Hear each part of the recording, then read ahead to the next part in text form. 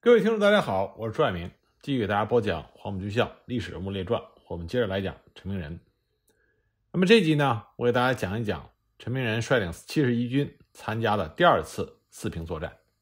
一九四六年四月二日之后，熊式辉命令梁华胜前进指挥新一军、七十一军由开远、沈阳法库向四平进攻。东北民主联军的主力在四平以南地区实施运动防御。四月七日，新一军新三十八师在兴隆泉、柳条沟一线就钻进了新四军三师八旅、十旅、独立旅和山东第一师的伏击圈，损失了八百多人。这就是兴隆泉战斗。同样在四月七日这一天，新一军的五十师在进攻长阳堡的时候，也遭到了新四军三师十九团的猛烈反击，一天之内伤亡了四百多人。新一军在昌图县以北进攻无望，所以梁华胜要求东北行员增援。被熊式辉撤换的郑洞国担任前进指挥。郑洞国四月十日到了开原县的前进指挥所，请求调来了五十二军幺九五师，把前进指挥所由昌图推进到了双庙子。他进行了以下的部署：新一军继续沿着中长铁路进攻四平，陈明仁的七十一军欠八十八师。进攻八面城和老四平，五十二军幺九五师作为预备队，在新一军和七十一军之间前进，随时准备策应这两个军。四月十五日，陈明仁的七十一军在四平外围吃了一个大亏，这就是金山堡战斗，也叫做大洼战斗。金山堡位于昌图西北部，四平八面城以西，这一带村落密布。沟渠纵横，树林茂密，十分有利于东北民主联军部队隐蔽和出击。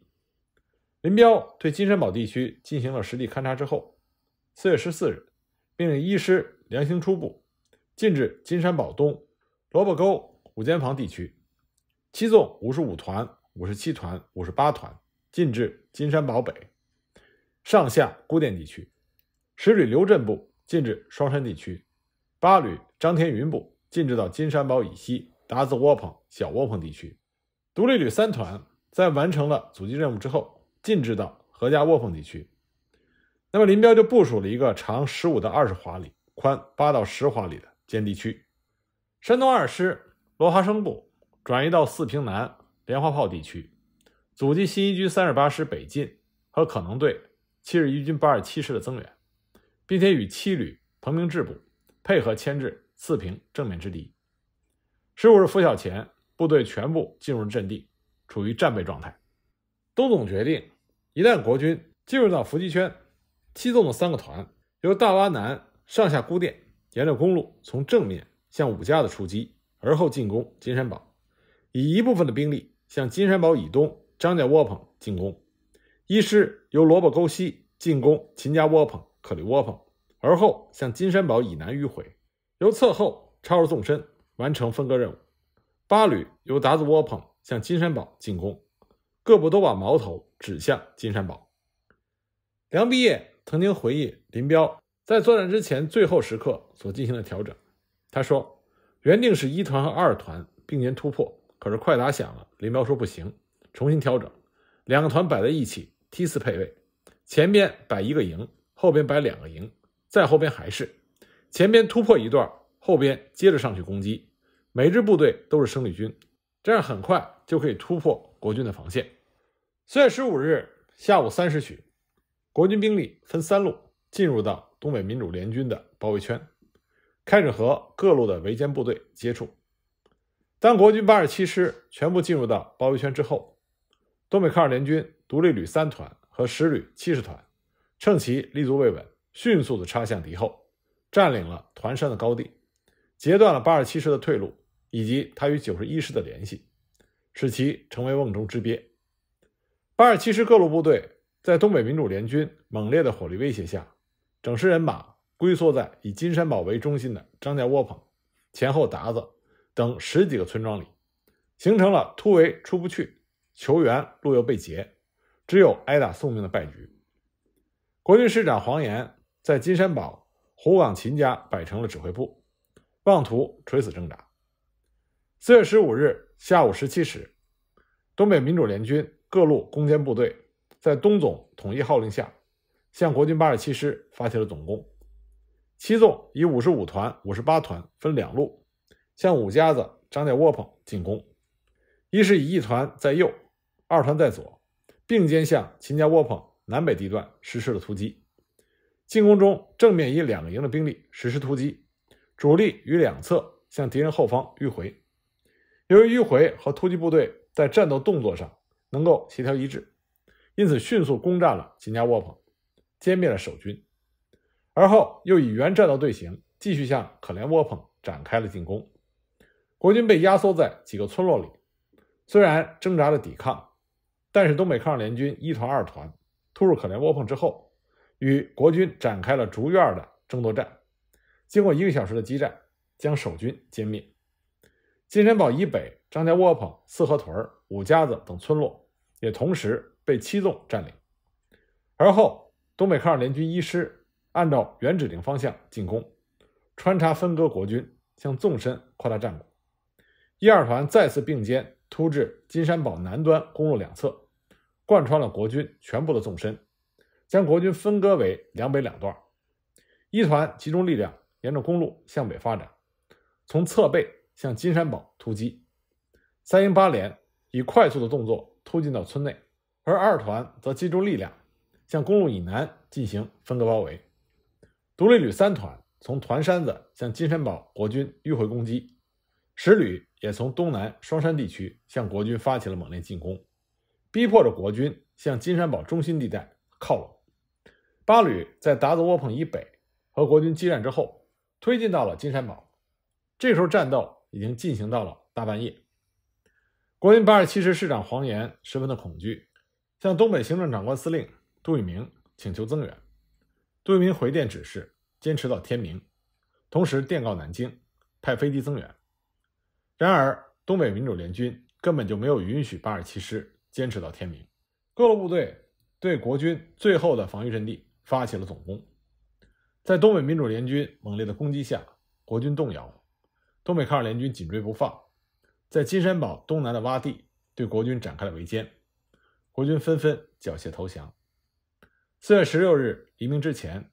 国军八十七师师长黄岩率领的残部沿着公路南逃，东北民主联军以一部进行追击，又歼灭了国军一部分。东北民主联军一师在莲花炮地区顽强的阻击北犯之敌，割断了国军三十八师对八十七师的增援。战斗于四月十六日六时胜利结束，击毙国军八十七师副师长以下官兵两千四百六十九名，俘虏两千多名。缴获汽车三十多辆和大批的武器弹药。金山堡战斗揭开了第二次四平保卫战的序幕。同时，金山堡战斗也是陈明仁率领的七十一军在东北战场上第一次比较大的损失，但这绝不是最后一次。那么，兴隆泉战斗和金山板战斗，东北民主联军取得胜利，这极大鼓舞了东北民主联军的士气，也增强了。东北民主联军守住四平的信心。可是国军这边经过了这两次战斗之后，对东北民主联军的实力重新进行了评估，因此新一军和七十一军完全靠拢，逼近四平，这就使得东北民主联军没有了在运动中歼敌的机会，只好把主力转移到了四平以北，作为机动力量。交战双方就进入到以阵地战为主的。城市攻防阶段，这种形势对于东北民主联军来说是不利的。四月十七日，正式开始了四平保卫战。四月十八日，国军新一军向四平西南和南郊的海方屯、博罗林子、南北压炮湖、西北郊的三道林子等阵地发起了猛烈的进攻。东北民主联军在四平只能打阵地防御战。没办法发挥运动战的优势。刚开始，国军也没有想到东北民主联军会坚守四平，所以逐次的添加兵力进攻，进攻效率并没有达到最高。四月二十日，国防部长白崇禧抵达了四平前线，他观看了战场局势，明白东北民主联军是想坚守，所以就集中了各方向的部队，迂回围攻四平。四月二十四日，新一军新三十八师加强了炮兵火力，东北民主联军的阵地上一天落下了三千多发大口径的炮弹。在这种严峻的局势下，中共中央并没有放弃坚守四平的决心。四月二十八日，中共中央发电报，要求把四平变成马德里。五月一日，中共中央电视林彪电文中称，蒋介石已经拒绝了马歇尔、民盟和我党三方面同意的停战方案，坚持要打到长春，因此我们必须在四平、本溪两处坚持奋战，将两处的顽军打得精疲力竭，消耗其兵力，挫折其锐气。那时便可能求得有利于我方的和平。历届清敌，每战必须集结全力打敌一点，以期必胜。蒋介石通过军调部也提出了东北停战和平条件。他的条件是：哈尔滨共管，长春、沈阳归国府。杜聿明认为，先解决了本溪，才能够全力北攻四平，所以他命令新到的六十军接替五十二军。守护锦州到鞍山、海城的交通线，集中了新六军、七十一军八二八师等五个师的兵力，在一九四六年四月二十八日第三次进攻本溪，并且占领了本溪。随即，他命令五十二军作为预备队调四平前线，新六军北上，而陈明仁的七十一军也整补完毕。随着战役形势的发展，林彪判断杜聿明有可能把新六军。从本溪的前线调来，暂时放弃对南满的进攻，所以决定把三纵从南满调到开原、昌图侧翼，阻击新六军北上。参加解放长春的杨国夫的第七师开赴公主岭、四平，在北满大后方剿匪的三五九旅开四平，万义七纵守塔子山，山东七师和新四军七旅守三道林子北山，山东一师二师。和新四军三师其他部队在四平以西对付陈明仁的七十一军。五月十五日，国军分为左、中、右三路发起了总攻。右路是新六军军长廖耀湘指挥新六军十四师、二十二师和七十一军八二八师、五十二军幺九五师，向着四平以东进攻。那么在莲花街遭到了东北民主联军三纵的截击，但是新六军。发挥了摩托化的优势，以小部队和民主联军焦灼，大部队乘坐着六百辆卡车北进，突破了三纵的防线，进入到四平的东侧，相继占领了西丰县城和四梅铁路上的平冈车站。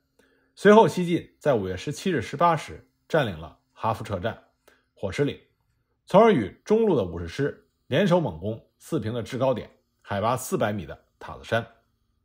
廖耀湘。率领了精锐新六军向东迂回攻击四平，六十五团在威远堡打垮了东北民主联军三纵的主力，连连攻破阻挡的守军，占领了重要的高地塔子山。中路是新一军三个师正面攻击，但是仅有五十师在进攻二五八高地的时候有所进展。陈明仁的七十一军八十七师、九十一师两师是作为左路向四平以西攻击，威胁侧翼。不过数次进攻均无进展。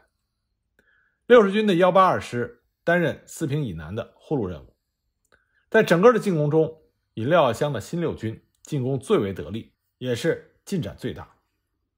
五月十七日，发觉态势不利的林彪向党中央发电，要求全线撤退，并且下令塔子山尽可能的再支持一天。当天晚上，林彪得知哈佛车站失守之后，下令。塔子山的守军最少明天再顶半天，不惜一切牺牲。同时，林彪已经开始草拟发给全军指战员的关于四平撤退的通令。林彪果断决定，山东七师于三道林子北山，新四军七旅于四平东南高地掩护东北民主联军全线撤退。五月十八日，迟迟得不到毛泽东撤军指令的林彪，向党中央再发电报，电文中称。敌本日以飞机、大炮、坦克掩护步兵猛攻，城东北主要阵地失守，无法挽回。守城部队处于被敌切断的威胁下，现正进行退出战斗。林彪相当于是发出了电报，没有得到命令的情况下，自行下令撤军。不第二天，毛泽东补发了同意撤退的电报。就这样，东北民主联军在五月十八日晚撤出了四平前线阵地。五月十九日，国军进入到四平市区，经过三十二个日夜的四平保卫战结束。根据中共方面的统计数据，四平保卫战历时三十一天，歼灭了国军一万七千多人，其中新一军损失六千多人，七十一军八十七师大部被歼，九十一师四个营被打垮。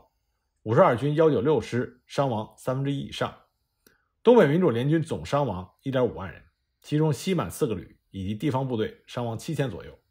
新四军三师第七、第十旅连排干部换了三次，部分的营级干部换了三次。四平撤守之后，五月十九日，毛泽东电示，要求东北局和林彪立即布置保卫长春。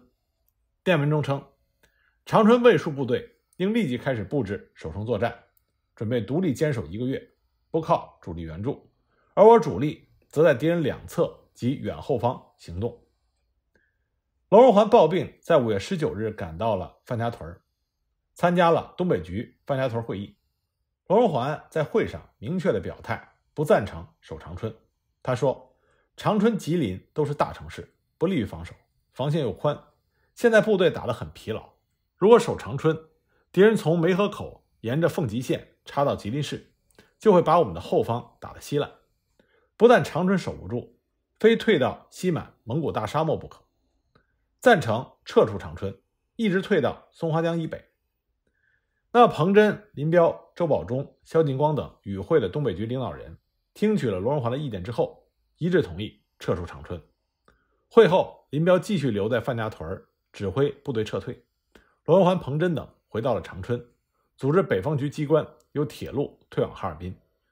然而毛泽东并不同意东北局退往哈尔滨，还按照原来守长春的想法来给东北局下达任务。五月二十三日，毛泽东发电报，命令彭真、林彪要东北局守住长春和公主岭。电文中说：一，望坚守公主岭；二，如公主岭不能守，则应坚守长春，以待谈判；三。立即部署公主岭及长春的守备。四，我们正在南京谈判让出长春，交换别的有利条件，但必须守住长春，方立谈判，否则不利。但此时东北局不守长春，直退哈尔滨已经付诸行动。林彪和彭真在当日分别给毛泽东回电，如实汇报了实际情况。电文中，林彪称，我军自四平防线撤出之后，连日一面抗击敌人，一面进行转移。白天受敌机的轰炸，行军多在夜间，部队极其疲惫，被敌人切断掉队甚多，目前无法组织兵力进行战斗。已令各部如遇敌时，则向敌进路的侧面转移，避免单独决战。现具体敌情及各部的具体情况均无法得知，我电台正在转移中。而彭真在回电中称，长春方面幅员广大，周围地势平坦，我兵力不足。不可能固守，为避免被迫作战，我们决定撤出长春。我们昨夜退出，现已抵哈尔滨。林仍率主力在前线指挥。那在国军的决策层，在东北视察的参谋总长白崇禧代表蒋介石的意见提出，只要打下四平，与共产党的谈判就有了面子，不必再北进长春。而杜聿明坚持要打长春，认为夺取四平之后，如果不乘势前进。必将前功尽弃，因为共军的扩充非常迅速，国军却不能够尽量的补充。现在停战是对共军有利，还认为攻占长春等地有把握。最终，杜聿明劝说白崇禧同意了按照原计划继续打下去，而白崇禧本人则飞往南京向蒋介石请示。东北民主联军在撤退中大量出现了逃兵，其中还出现了作战科长王继芳携带大批文件。投奔国军，向国军泄露了东北抗日联军的实际情况，这就使得杜聿明一改以往谨慎用兵的做法，下决心调动其精锐部队，以机械化为先导，分兵狂追北撤的东北民主联军，甚至企图将民主联军截留在松花江南岸加以歼灭。右路国军五十二军一部在五月二十一日占领了辽源市，同一天呢，国军也占领了公主岭。五月二十二日，占领了范家屯五月二十三日，占领了长春、海龙、德惠、农安。此后又沿着长堤铁路占领了九台、永吉。八二八师一部沿着松花江直扑小丰满发电站，一举占领了长春、吉林以下七十多个城镇。当时东北民主联军撤退的局势非常的严峻。罗荣桓回忆说：“从长春撤退到哈尔滨的时候，思想非常混乱，全军手足无措，无政府、无纪律的现象非常严重，个人搞个人的，个人抓个人的。有些同志把新招编来的伪满军队和新缴获来的武器看成是自己的，不去充实和补充主力。这样的部队虽然有武器，但是很不巩固。敌人一进攻，散的散，叛变的叛变，给我们造成了很大的困难。”黄克诚五月二十四日在给党中央致电的时候报告，电文中称：“从我所了解的东北部队部分情况及地方情况和我对今后作战意见略报如下：一，从三月下旬国民党进攻起到长春撤退，我军除南满外，总伤亡一点五万人，仅西满四个旅及一部分地方部队伤亡就达到了七千人左右。七十旅连排干部大部换了三次。”部分营级干部换了三次，团级干部伤亡尚小，有些部队元气受到损伤，不经整训已难作战。二，部队从四平撤退尚有计划，长春撤退则已有些混乱。西满四个旅，一个旅到北满，一个旅到东满，两个旅到西满，其他各部情况不明，部队非常的疲劳，有些战士撤退的时候走不动，不愿跟着走，干部因为长期支持，都显得非常倦怠。三干部中一般情绪不高，特别是营以下的干部，一般有很大的厌战情绪，伤愈后不愿归队。比较好的则要求到地方工作，坏的很多逃跑做生意做手工，有些干部则装病到后方。这些现象是抗战八年所未有，主要是由于后方工作太差。但干部在长春撤退前逃跑尚少，在战场上一般均积极勇敢。四。地方工作在西满只有法库、康平、昌土、通辽这几县比较普遍的有初步基础，其他各县除县城之外，乡村中有些则有了点工作，有些则完全没有工作。土匪问题尚未解决。长、哈、齐占领之后，西满散匪达五万以上，进剿很难消灭，因为集中兵力在四平，也没有较多的部队进剿，地方武装有部分尚不巩固。地方工作进展缓慢，是由于时间短、干部少、土匪多，以及干部恋着城市，不愿意下乡。工作作风也有毛病。分配土地的农民情绪很高，但是提的较迟，一时间难以普遍的开展。故从西满说，我们尚无广泛的有组织的群众基础。五，整个军队和地方干部，除了一部先进者外，一般渴望和平而厌战。从承德来的干部几乎没有愿意在乡村工作者，都要求到长春、哈尔滨去。军队干部则很多要求休养，做后方工作，做地方工作。一般战士的艰苦精神，比之内战和抗战时代都差了很多。在目前的情况下，我们的作战方针不能死守城市，应以消灭敌人为主，应避免被动的守城战，采取主动的歼敌。而目前争取一个时间来整理部队，恢复疲劳。提高士气，剿清土匪，发动乡村群众为最有利。待敌人分散后作战，即使失掉一些城市，这样做也比较稳妥。从黄克诚的这段电文，我们可以看到几个当时的普遍现象：抗战胜利之后，全国的军民实际上是厌战、渴望和平。这不仅仅是在国民党的国统区、国军部队，在共产党的军队和共产党统治的地区。也是同样的情况。国共内战爆发之初，如何正确的理解作战的意义，保证部队旺盛的士气，这是国共双方共同的问题。那么，中国共产党在军队政治思想工作中的优势就显现出来了。中国共产党的军事将领和政工将领，他们首先做到的就是政治问题发现问题，这在黄克诚的这篇电文中得到了充分的体现。从黄克诚的这篇电文中，我们看到他对于部队中的这些问题，并没有讳言，也没有对于向党中央汇报这些问题有任何的顾虑。这也是当时中国共产党对国民党的优势所在。上级下级之间可以做到客观公正的反映问题、发现问题，这样才能进而的去解决问题。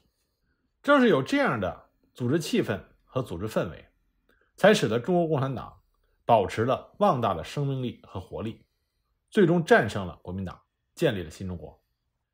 五月二十六日，东北局向党中央汇报了民主联军的情况，并且请示今后的作战方针。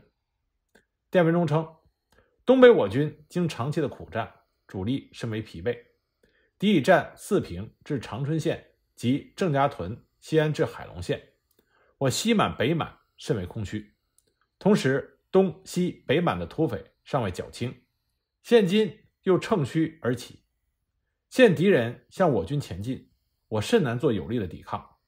今后的作战方针，请中央指示。